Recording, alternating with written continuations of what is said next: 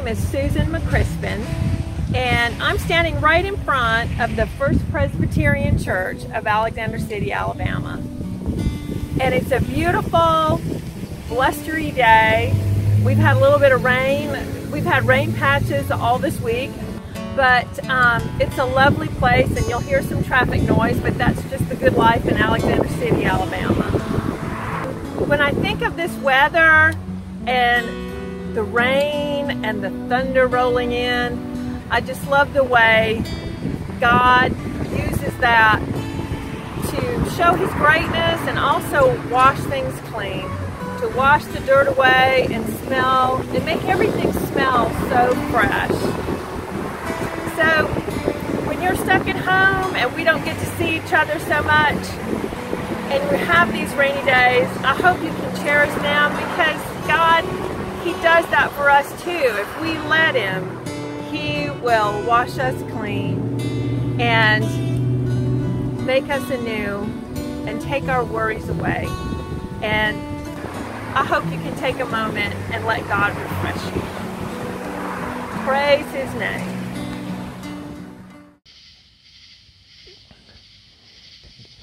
Uh, it's one of my favorite times to walk. I have uh, added into the video service. I'll just stop a minute here instead of walking. I've added into the video service another uh, rendition by Seth Fuller of Eternal Father Strong to Save. Uh, we did one last week with Robert uh, Robert Lamborn singing the solo. It was a great version, a very good arrangement.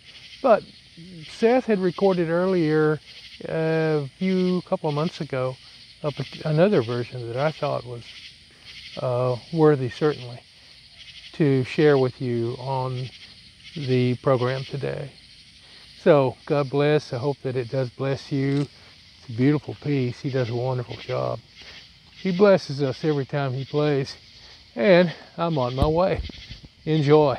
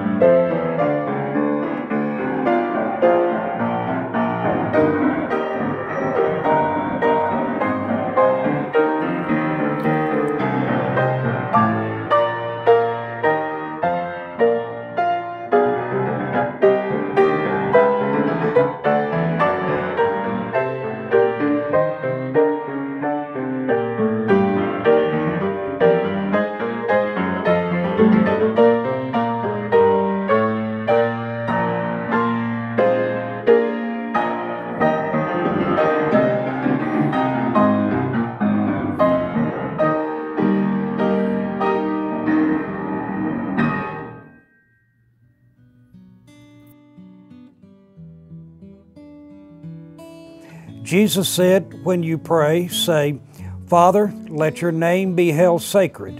Let your kingdom come. Keep giving to us the bread we need day by day.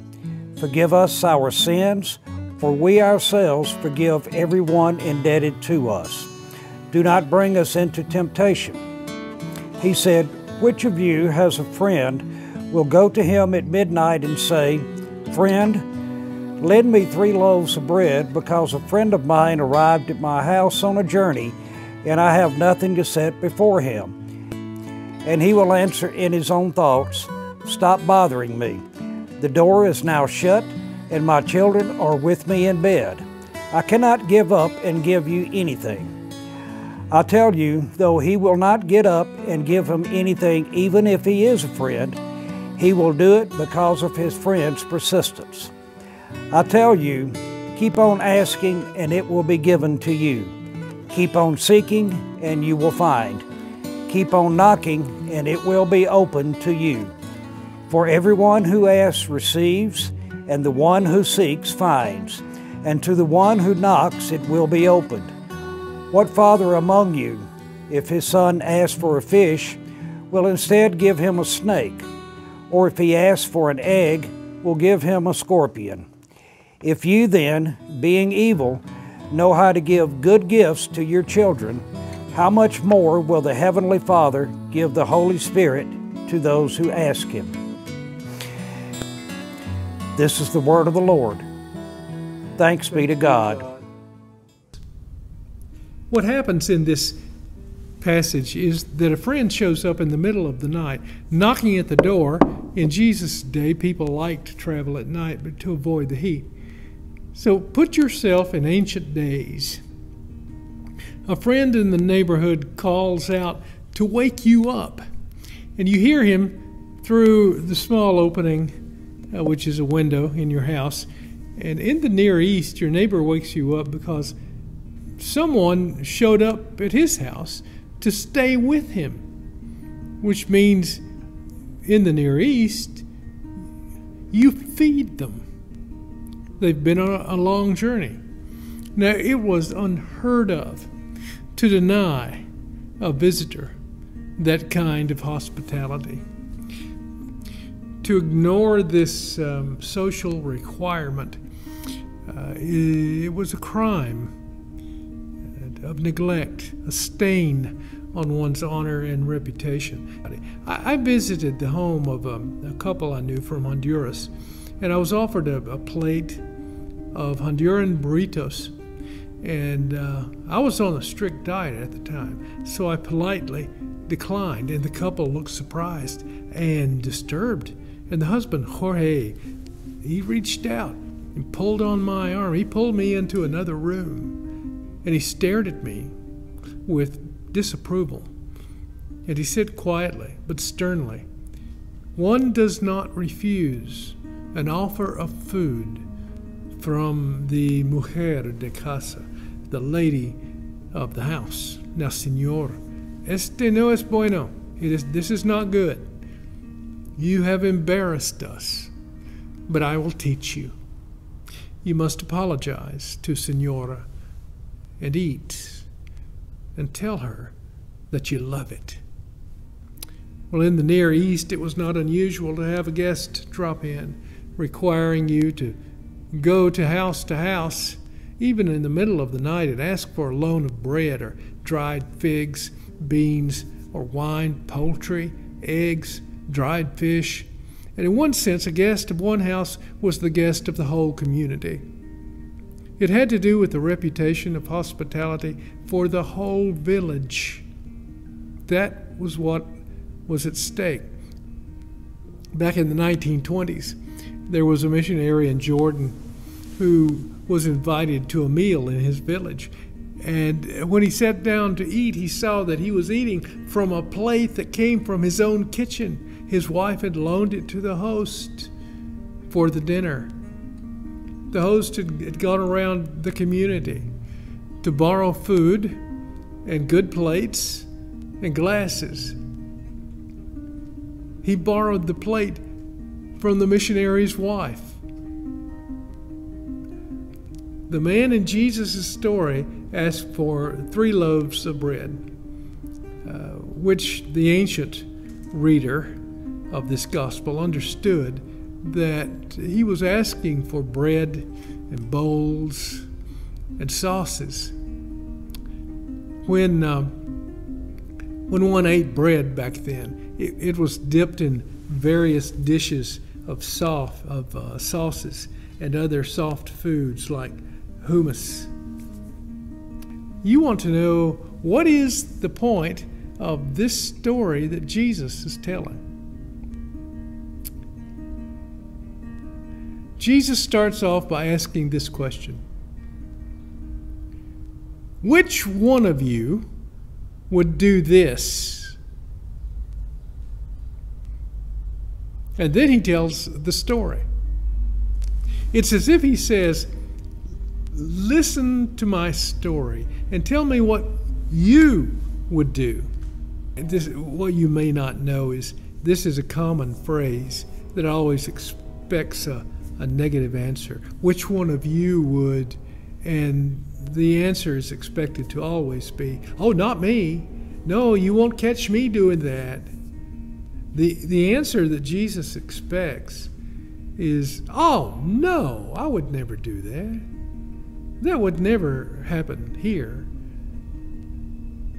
Who of you, if a friend asked you for help, would say, Stop bothering me. Never! Never would I do that. That would never happen. Not with me. Not in my village. No one denies a guest hospitality. Verse 8 I tell you, though, he will not get up and give him anything just because he is his friend. He will do it because of his friend's persistence.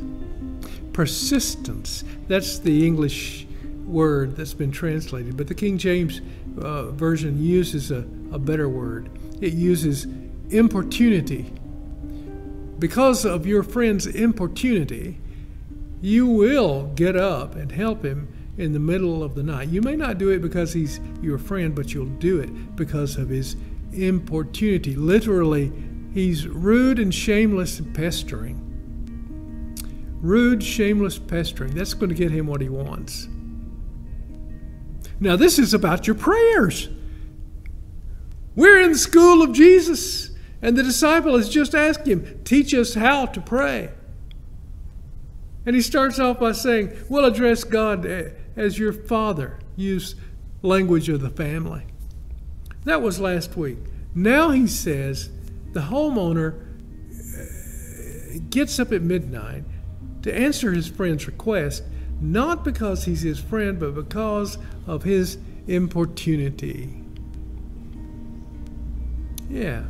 So, what? Our prayers should contain an element of importunity, a word that contains a mixture of uh, the idea of persistence and impudence. Is that what he's saying? But in this case, you know, the reason that translators translate this word into English by saying persistence is because of the picture that Jesus is painting of how we ought to pray, how he prays. And the picture is, is one that you, you have to imagine. It's a family setting. Imagine a child sitting on her father's loving knee, saying, Father, Here's what I want. Would you please give it to me? This is what I think I need. Could you do this for me? How can a four year old daughter who comes to you and is relentless in asking you for a favor and will not give up and hounds you for what she wants, how can you how can you call that impudence? You don't take it as impudence. Not from your little daughter. You're gracious and you consider it. You love her. Jesus' story is encouragement for all of us to pray to our Father persistently. Even if you think you're wearing out God's patience, what you're going to find is a willing God, a loving and patient God. That's what you're going to find. I turn over to Luke 18:1. Jesus told this parable it's another parable.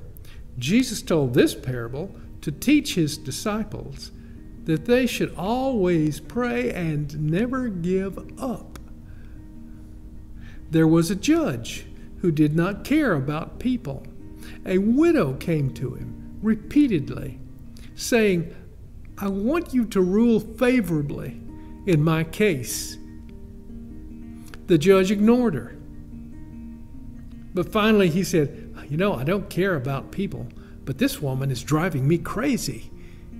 I'm going to help her because she's wearing me out with her constant requests. So we have two parables from Jesus that say the same thing. A woman pesters a judge, who, the judge who thinks to himself that she's a pest. And a man pesters his friend at midnight. A, a man uh, uh, who goes to a friend at midnight, the friend thinks to himself, oh boy, he's a pest. But they don't say it. They don't say it out loud. You're a pest. You're pestering me. No. What do they do? They answer the request. They help. They help the person. The man in his bed trying to sleep thinks secretly, Oh, I wish you would stop pestering me. Why do I have to get up? The judge who wants to be left alone thinks secretly, Oh, don't you know I don't care about you? These men in these parables are there for a purpose. They're there to show us what God is not like. They show us that God does not think like that. That's why they're in the parable that way. God does not feel that way about you. Now that's that's the point of the parable, so don't misread it. If the man who wants to get some sleep is not God, then, and the judge who does not care about people is not God, then, who are uh, the pestering people who are asking them for help? Well, they are the believers who pray to the Father. If those men being evil, compared to God's perfect righteousness, if those men being evil help a neighbor and help a widow, how much more will God help? Jesus prayed to God. Jesus cried out to God. He brought his prayers to God again and again until he had an answer, one way or the other, yes or no. And look at all the prayers of the Bible, how people were persistent with God, how they reasoned with God, argued with God, carefully challenged God to remember his promises. It's everywhere in the Bible. People did not give up. They reminded God, Lord, you have a reputation to uphold. They said, Your name and your honor will be harmed if you don't answer my prayer. It sounds like pressuring God. Well, people in the Bible prayed that way. It's not pressure. I mean, God is a father who is in love with his children. You may think Presbyterians, eh, we don't plead and cry out to God. Well, I hope you're not too good to bend the knee of your heart and make pleas to your Father, whatever it is that you have on your, your heart today. I hope that you will be as unsophisticated as the believers in the Bible because God does not think you are a pest. The point of the story is that He is not like that at all. Jesus is telling us God is not like the man who finds his neighbor to be a nuisance. God is not like the judge who doesn't care about people. God's nothing like these two men. When you ask Him for help, he does not say to himself, Oh, oh, it's her again. I wish she would leave me alone. Doesn't she know that I have some serious matters to deal with? Trouble in the Middle East. There's a pandemic going on. There's government corruption in Argentina. And I have six world leaders who want to be Hitlers and you want three loaves of bread? Leave me alone. Jesus' point God is not like that. God is the God of 2 Kings 20. Hezekiah was deathly ill, and Isaiah went to him and said, Thus saith the Lord, a prophecy, set your affairs in order, for you are going to die. Hezekiah turned, to his, turned his face to the wall and prayed to the Lord. Then he broke down and wept bitterly. Before Isaiah left the courtyard of the king's house, a message came to him from the Lord Go back. Tell Hezekiah, I heard him pray. Tell him that I saw his tears and I changed my mind. I will heal him. So let God see your fears and your tears. Be shameless and persistent. Be like Jesus and like the believers in the Bible, the kind of people who pray and they don't give up. You think you bother God by bringing the trivial details of your life to Him, or that you bother God because you keep on praying about little things? That's what He wants. And if you think that, if you think you're bothering Him, then you just look at verse 9. Jesus says, Keep on asking, and it will be given to you. Keep on seeking, and you will find. Keep on knocking, and it will be opened unto you. For whoever asks receives, and the one who seeks finds, and to the one who knocks it will be opened. Finally, I leave you with this thought. Don't forget that this whole story happened at midnight. So you might say, God is your friend in every midnight of the soul that you experience. Every burden you bear, every worry, every pain.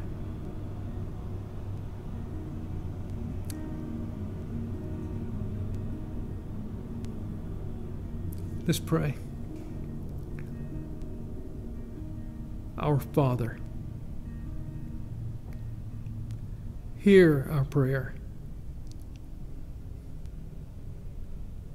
Answer our prayer in the darkest hour of the night. Help us, please.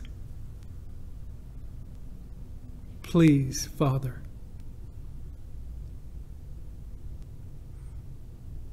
Amen.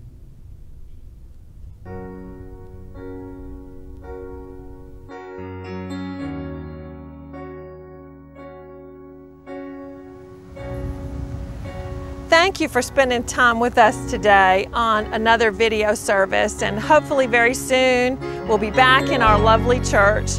In the meantime, we sure would appreciate your tithes and offerings sent to the First Presbyterian Church, P.O. Box 96, Alex City, Alabama 35011. And thank you so much, and I hope to see you very soon.